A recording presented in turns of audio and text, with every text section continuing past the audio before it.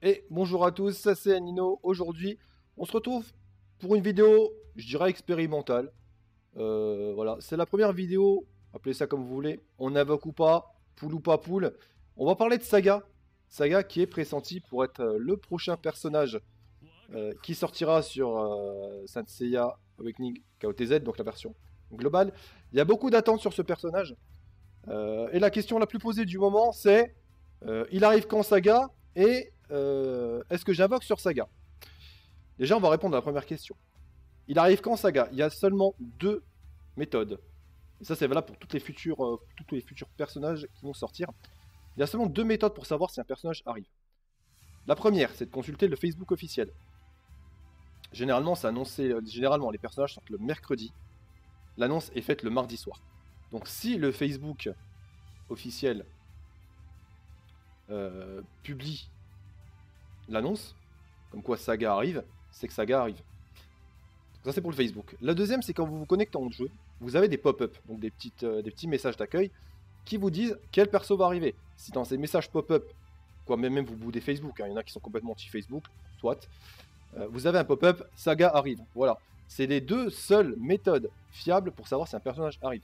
Il y en a une troisième, qui consiste à regarder le shop. Alors celle-là n'est pas garantie, mais vous voyez en fait dans les packs, dans les packs des fois, euh, là par exemple vous voyez euh, Chion pack, Pandora pack. Donc oui, j'ai pas précisé, on est sur la version SEA pour les besoins de la vidéo, vu que j'ai un compte euh, SEA un peu plus complet que celui de ma globale. Donc pour les besoins de la vidéo, on est sur la SEA. Donc là vous voyez, il y a des box Pandora, il y a des box Chion. Pourquoi? Parce que c'est les deux personnages mis en vedette en ce moment sur la SEA. Voilà.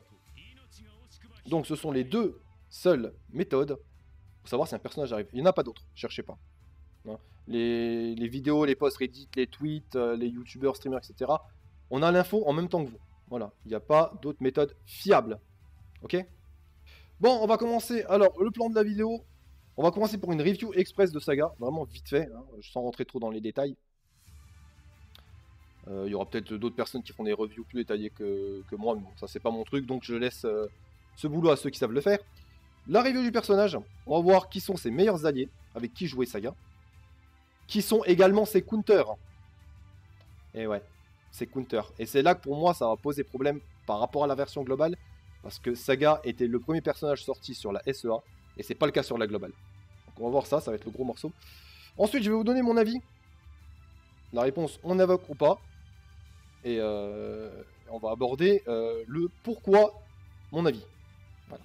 On attaque, petite review du euh, personnage.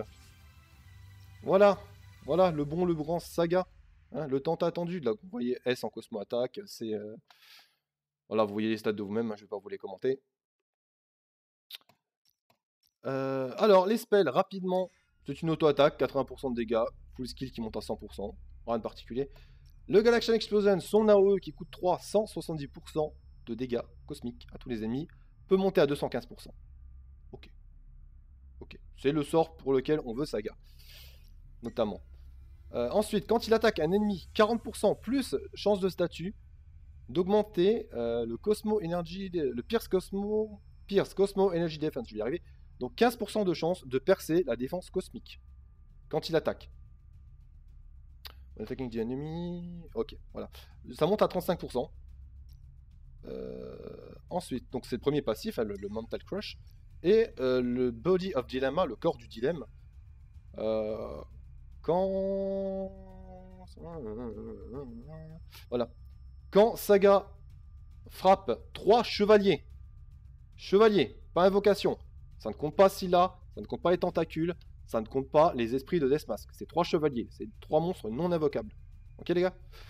Et les dames, des fois il y a des dames, bonjour les dames. Je vous oublie souvent, désolé. Euh, voilà, donc quand vous frappez 3 chevaliers, vous allez déclencher donc le Mental Crush, donc euh, la réduction de dégâts. Garantie. Parce que là, c'est seulement 40% de chance, plus statut 8. Quand vous frappez 3 chevaliers, vous avez euh, la garantie de déclencher le Mental Crush. Ok. Donc déjà comme ça, ça envoie du rêve. Je peux déjà un peu, avancer la, la partie 4. Oui, Saga est un monstre en PvE. C'est clairement un monstre. Pour former les mirages, pour former les donjons. L'histoire, c'est un monstre. On est d'accord. Mais c'est pas mon avis final, attention. On va attaquer la deuxième partie, ses meilleurs alliés. avec qui il faut jouer Saga. Le, premier allié, j'ai envie de dire, c'est un duo. C'est ensemble, Kiki, Luna. Pourquoi? Kiki, vous allez générer donc vos deux d'énergie. Euh, donc en PVE, vous commencez à 4, plus le mandala 5, plus les deux procs, vous commencez à 7. 7 d'énergie. Luna, vous mettez le rejoué de Luna sur Saga, double Galaxian Explosion, on n'en parle plus. À faire classer. Attention à bien speed tune vos personnages. Speed tune, c'est-à-dire aligner la vitesse. Il faut que Kiki joue, puis Luna, puis Saga. D'accord? Quoique dans cet ordre-là, c'est pas, pas vraiment. Dans cet exemple-là, c'est pas vraiment flagrant. Mais il faut bien, par exemple, que votre Saga soit plus lent que votre Luna. Si votre Luna joue après Saga, ça sert à rien. Hein? Donc, quand bien même dans cet exemple-là, allez, Kiki Luna, l'ordre pouvez inverser, mais il faut bien que Luna place le buff avant Saga. Et rappelez-vous qu'il faut bien aligner la speed, euh, parce que si Saga entre-temps prend un debuff, le rejouer de Luna s'annule. Ok? Ça, c'était le premier exemple de combo allié. C'est ces deux personnages qui marchent ensemble. Troisième exemple. Troisième allié. Deidalos. Deidalos, qu'est-ce qu'il va faire, Deidalos De toute façon, montez-le. Vous allez en avoir besoin dans tous les modes de jeu, hein, que ce soit dans les donjons, PVP, euh, tous les modes difficiles. Deidalos va absorber une partie de l'attaque. Ce qui nous intéresse, c'est l'attaque cosmique. Il va absorber l'attaque cosmique et il va la redistribuer à un autre personnage qui a cette attaque la plus forte. En l'occurrence, il faudra que ce soit Saga dans votre team qui est l'attaque cosmique la plus forte, de manière à ce que Dédalos bascule bien le debuff cosmique sur Saga. Vous suivez? Pas compliqué.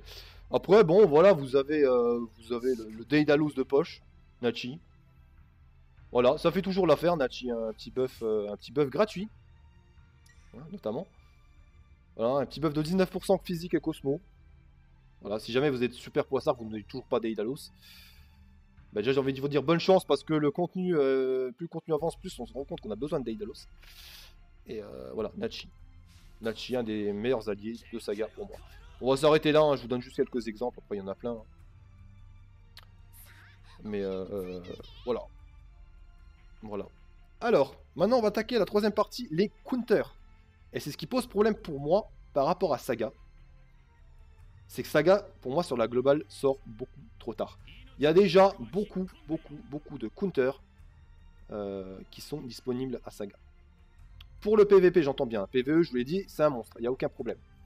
PVE, vous allez, vous allez dérouler les events avec Saga. Il y a beaucoup de counters. Je vais vous donner quelques exemples. Le premier exemple, Mu.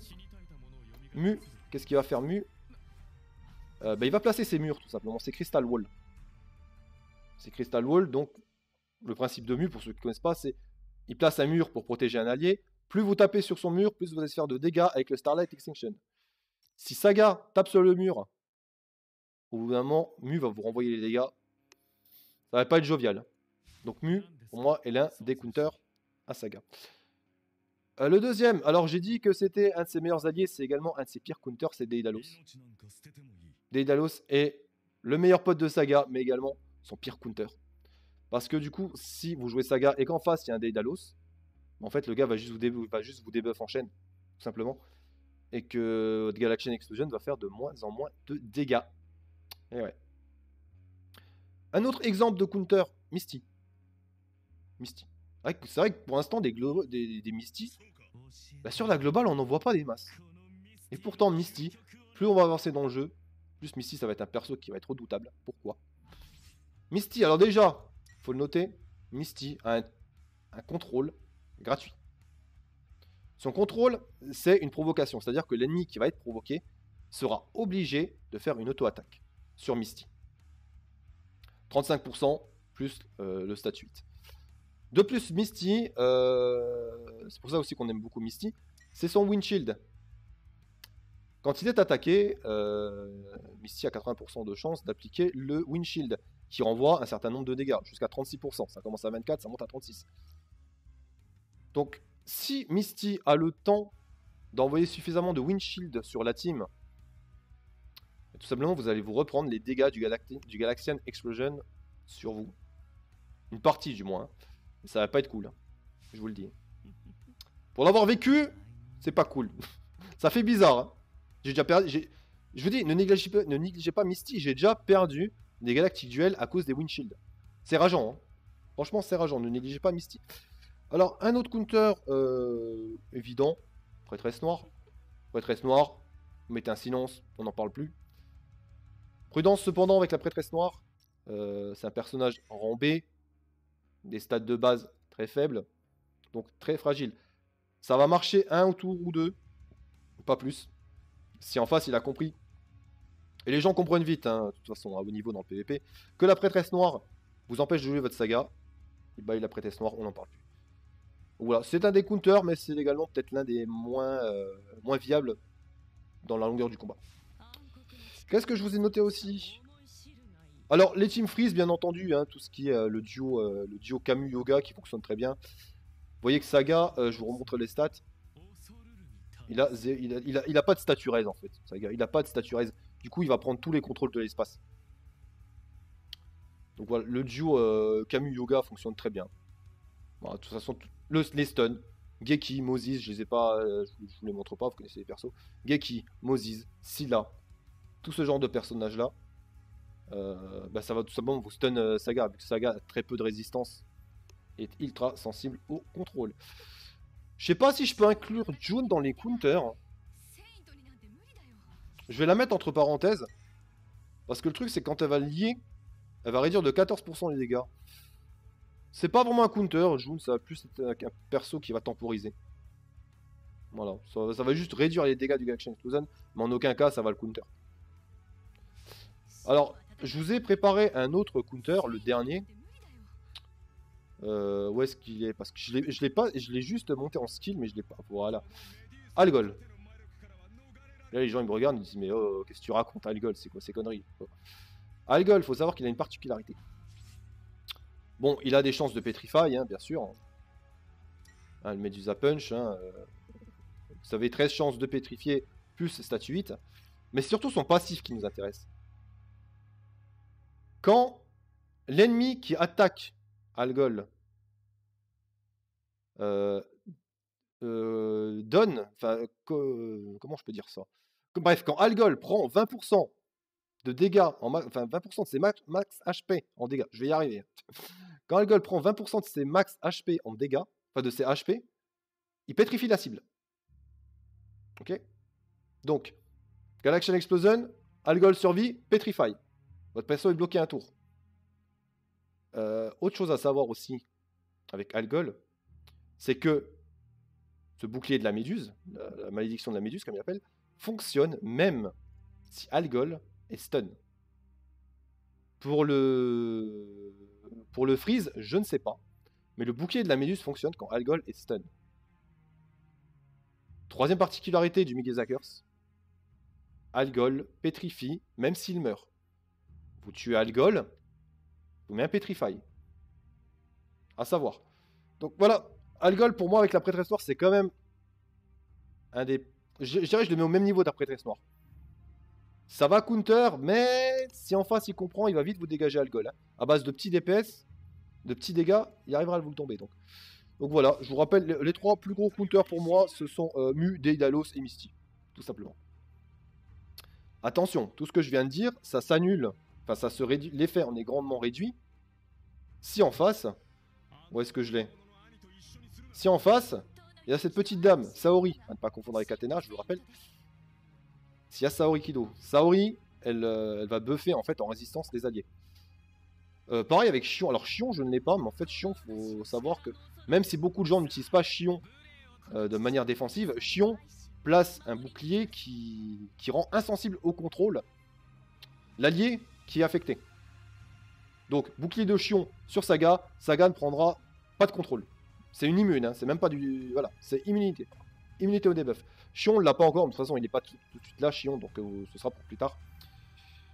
Voilà, je vous ai présenté des counters, je vous ai présenté tout ce qu'il y a à savoir sur les alliés et les counters. Mon avis. Vous vous en doutez un peu. Si vous voulez jouer principalement en PvE, oui, invoquez sur Saga. je vous ai montré le combo euh, Kiki Luna qui est très fort.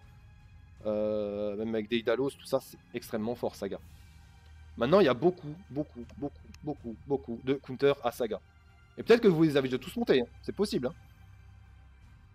Mais euh, voilà, pour moi, c'est le problème de Saga, c'est qu'il sort trop tard sur la globale. Mais, parce qu'il y a un mais, forcément. Ah oui, j'ai oublié la, plus grosse partie. Euh, plus grosse partie. Donc pour PVP, Saga, mettez de côté, surtout si vous êtes free player. La plus grosse partie, euh, c'est quand même quelque chose qu'il faut rappeler parce qu'il y a beaucoup de gens qui se montent la tête avec ça. Et surtout, c'est pas le but, les gars. On est dans un jeu à licence. On est dans ce que moi je catégorise comme hero game. Si Saga est un de vos personnages de cœur, c'est un de vos personnages préférés, et que vous voulez dans votre box et que vous voulez compléter votre codex, allez-y. Faites-vous plaisir. Là-dessus, faites-vous plaisir. Je peux pas. Personne n'a le droit de vous dire non, euh, invoque pas sur Saga, oui, invoque sur Saga, parce que si tu es fan du personnage, si tu es fan de Saga, si tu adores Saga, invoque sur Saga, fais-toi plaisir. de toute façon, même si tu l'as pas tout de suite, il va revenir. Vu que ce, n'est pas un personnage exclusif à son rate-up, donc il reviendra régulièrement, le petit euh, le père Saga. Donc je vous avais dit, euh, faut pas invoquer. Globalement, c'est mon avis, n'invoquez pas. Pas tout de suite. Il faut savoir une chose, sur la globale, le jeu n'est pas encore complet. C'est un jeu qui va évoluer au fil du temps. Il va y avoir euh, des cosmos. Je vous montre les cosmos de mon saga que vous connaissez. Hein. Voilà comment est ruiné mon saga. Bon, faut savoir que la SEA, j'y joue plus beaucoup. Mais voilà à l'époque comment était mon saga quand je le jouais. En soi, c'est pas fou, faut pas se le cacher. Mais il faut savoir qu'il va y avoir d'autres runes. Et là, quand je vais vous montrer les runes, vous vous dites Ah ouais. Parce que ça, va être lourd. Hein. Ça, on va dire, c'est le saga qu'on pourra avoir début de jeu. Qu'on avait début de jeu sur SEA, début de jeu sur Global. Mais maintenant, je vais vous montrer ce que vous allez pouvoir faire plus tard, dans quelques semaines, quelques mois, avec les runes saga. Accrochez-vous. On va déjà pallier à son premier problème, sa résistance. Plus tard, on aura ces runes, les runes Knowing. Je ne sais pas comment ça va être traduit en français. Ce sont des runes qui ont du statut raise sur l'ensemble et qui ont du statut raise en substat et des HP. Donc déjà, votre saga, il va avoir plus d'HP, il va être plus résistant au contrôle. Ok Donc voilà, vous le voyez déjà venir. Hein. Euh, tout ce qui est Team Freeze, on oublie. On oublie tout ce qui est Team Freeze.